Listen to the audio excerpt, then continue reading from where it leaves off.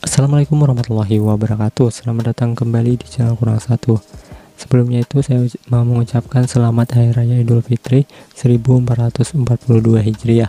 Mohon maaf lahir dan batin Jadi di kesempatan yang spesial ini Saya mau berbagi tutorial Cara membuat foto dengan bingkai ucapan selamat Hari Raya Idul Fitri jadi sebelumnya itu sudah teman-teman lihat bagaimana fotonya jadi di sini saya ingin membagikan tutorial cara membuat foto seperti yang tadi dengan mudah dan simpel dan juga cepat. Jadi kalian tanpa memerlukan aplikasi tambahan, kalian hanya menggunakan aplikasi browser bawaan di HP kalian. Di sini saya sebagai contoh menggunakan aplikasi Google Chrome.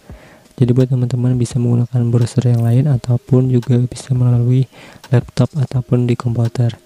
Nah, jika teman-teman sudah ada aplikasi browser ini kita tinggal langsung saja kita ke tutorialnya kita tinggal buka aplikasi browsernya dan kalian perlu harus menyediakan ataupun menyiapkan foto yang ingin dibuat dengan ada bingkainya setelah itu di menu pencarian kita tinggal klik di sini kita klik seperti ini. Nama webnya yaitu Twibon Teobonis seperti ini. Setelah itu kita tinggal klik pencarian. Nah setelah itu jika tampil seperti ini ini dia webnya kita tinggal klik.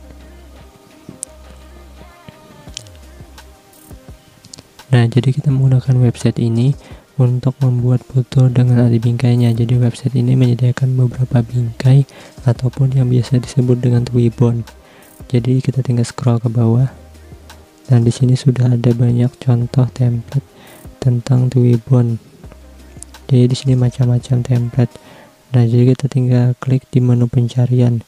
Kita coba scroll. Nah, di sini kita tinggal masuk ke di sini cari campaign.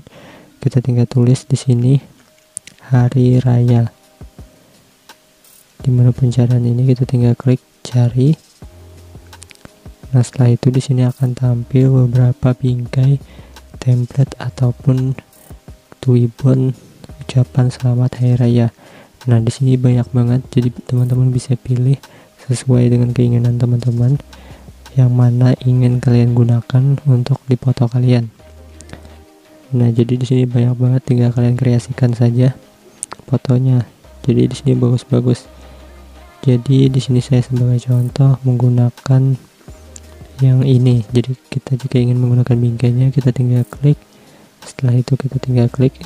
Nah, jadi kita tinggal setelah ini kita tinggal upload foto kita masuk ke menu pilih foto ini setelah itu kita masuk ke galeri setelah itu kita pilih foto yang ingin kita upload di sini saya sebagai contoh menggunakan foto saya yang ini kita tunggu nah setelah terupload kita tinggal bisa gunakan dua jari ataupun untuk memperbesar ataupun untuk memperkecil fotonya kita sesuaikan dengan bingkainya Nah, jadi kita tinggal sesuaikan saja sesuai dengan keinginan. Jika sudah merasa sudah pas, kita tinggal klik selesai.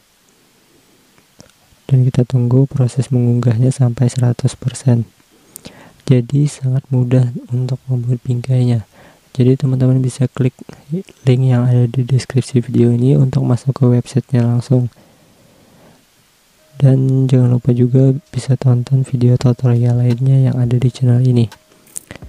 Nah setelah itu jika sudah 100 seperti ini kita tunggu dulu sampai uploadnya selesai nanti kita akan download fotonya ataupun kita simpan ke galeri HP kita nah setelah seperti ini kita tinggal unduh fotonya kita tunggu.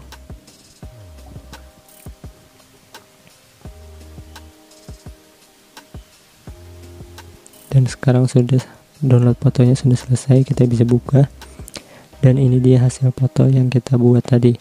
Nah jadi buat teman-teman yang mau buat foto dengan ada bingkai tulisan selamat hari raya idul fitri ini dengan mudah dan cepat bisa ikuti tutorial yang ada di video ini jika ada pertanyaan bisa tulis di kolom komentar di bawah. Dan jangan lupa untuk dukung channel ini dengan cara like video ini serta subscribe channel ini. Dan terima kasih buat kalian yang sudah menonton video ini dari awal sampai akhir. Semoga bermanfaat. Wassalamualaikum warahmatullahi wabarakatuh.